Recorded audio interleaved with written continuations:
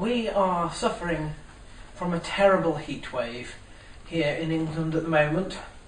Um, actually, this heat wave has been quite good because, on the whole, uh, when the days are bright, it's been uh, arid heat, which I don't have a problem with.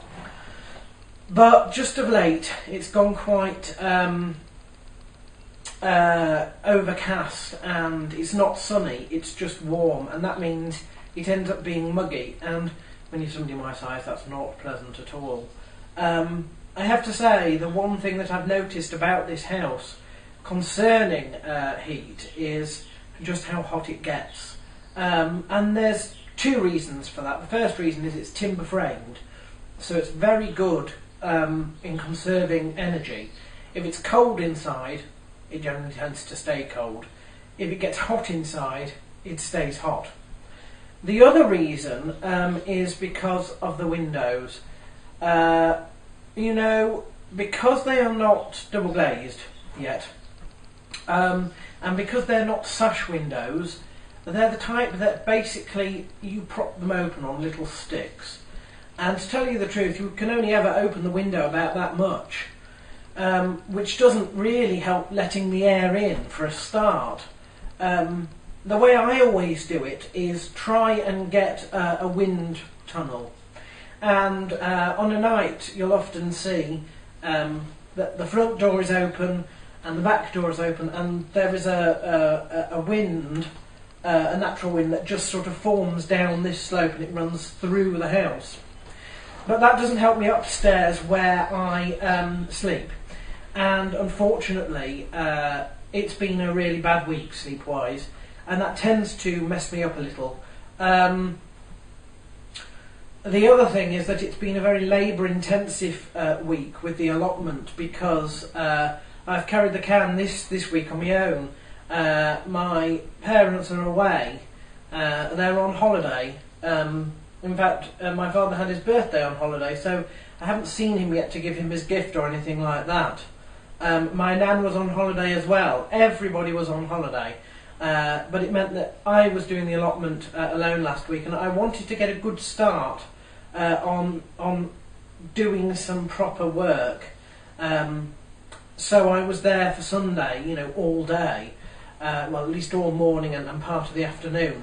Um, uh, and the biggest thing that I've managed to do there, which actually took me a lot longer than I thought I was going, it would take, uh, was the ability to net the red currant uh, bush, which is, you know, uh, a large proportion of the size of this room, to be totally honest. It is massive, and of course, we only have little bits of uh, uh, netting here and there because we haven't actually purchased any special yet. We're using the old stuff first, and so it was a case of trying to wind it round, and oh dear, it took me it took me about an hour to get this um, this uh, this bush uh, bird proof because pesky, and now the fruit is ripening. Pesky will be after it. Pesky is a blackbird.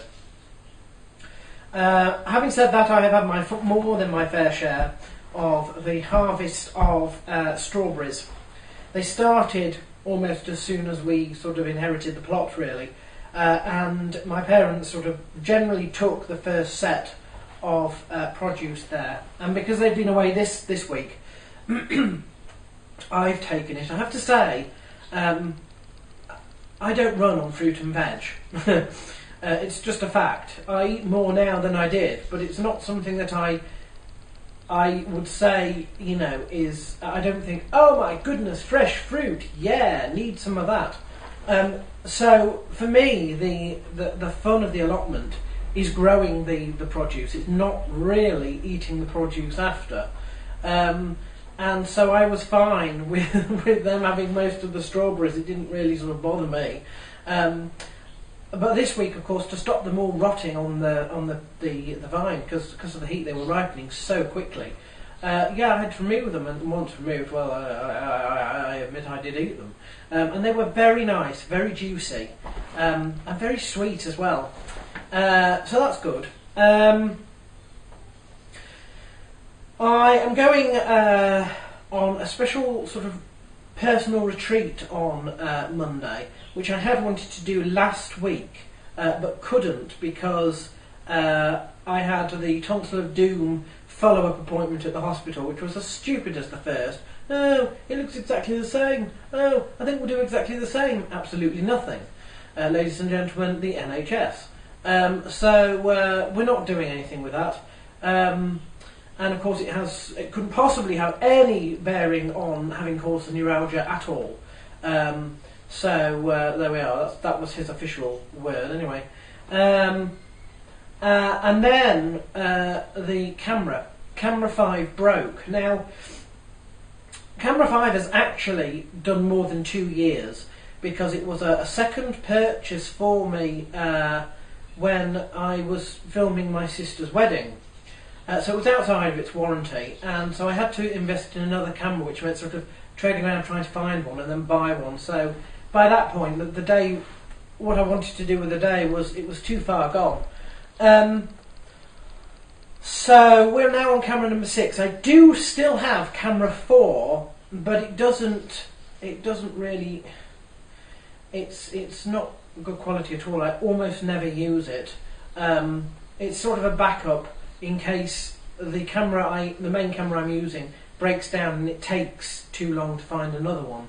Uh, but so this is a new camera, camera six that we're filming on here, um, and I think that's about it for this week. I can't think of anything else, you know, particularly exciting or special that happened. Um, you know, apart from the fact, you know, I do apologise to anybody who um, I might have been narky with this week, but the heat, had, you know, the heat has, uh, the heat has got to me.